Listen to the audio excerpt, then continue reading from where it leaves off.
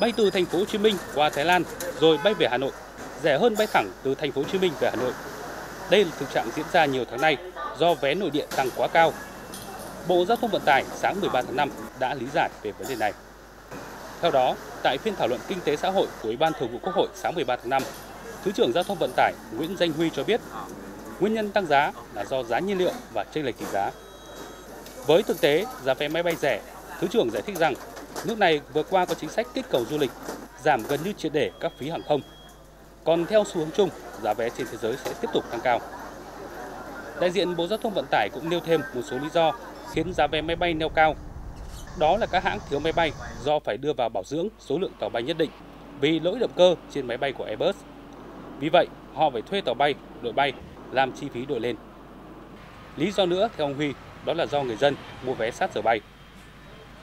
Để kiểm soát giá vé, đại diện Bộ Giao thông Vận tải nói thêm, cơ quan này yêu cầu các hãng hàng không ra soát lại toàn bộ chi phí kê khai giá, tăng chuyến bay về đêm và sử dụng máy bay thân rộng khi thiếu tàu thân hẹp.